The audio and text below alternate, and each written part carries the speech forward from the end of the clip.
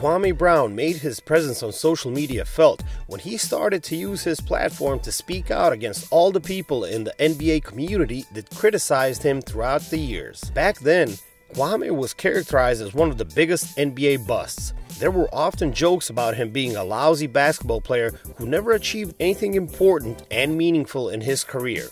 Now, Kwame is taking his turn to respond to all the people that criticized him while debunking some of the myths and false information they shared through those years. The first one was about his time with the Washington Wizards, who drafted him as the first pick straight out of high school. Kwame shared how Michael Jordan never wanted him on the Wizards, and they were looking to trade him for Elton Brand. But since that deal didn't come through, they decided to keep Kwame and made his life and career an absolute disaster. They used to force me to work out for two and a half hours before games.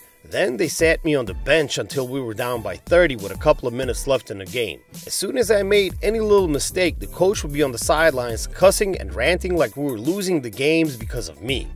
MJ never wanted me on the Wizards from day one. He drafted me to trade me for Elton Brand, but the owner of the Wizards blocked the trade. Said Brown via Bust Life. He also talked about his conflict with Charles Oakley, who constantly threatened Kwame he would beat him up. As a teenager, no matter who you are, this is the type of situation where you can grow and develop as a person and a player. They used to bring old veterans into practice just to have them foul and beat the crap out of me every day. I had Charles Oakley threatening to beat me up. I was an 18 year old kid. Y'all thought I was weak. I'm one of the strongest men, y'all know. If y'all experienced what I experienced at the age of 18, y'all would have been looking for the highest bridge to jump from. The Kwame Brown Bust Life. He also touched on his goal and dream to help his mom, which he eventually did, which is the goal for many young NBA players from challenging family backgrounds. When Kwame became an NBA player, he kept his promise and helped out in any way he could, so whenever someone called him a bust, he believes it was entirely uncalled for based on his achievements.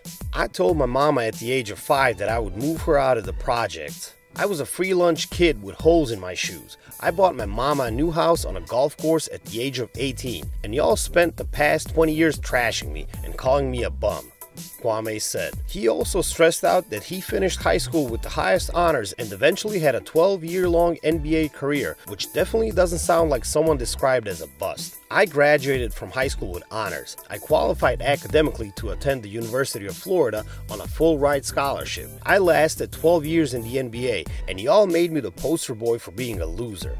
If that's what a loser looks like, then more black boys should become losers, said Brown. It's great to hear his side of the story regarding all those allegations and bashing that was going on for the past two decades. Kwame used the opportunity to address all of those false accusations while demanding more respect for his name, and rightfully so.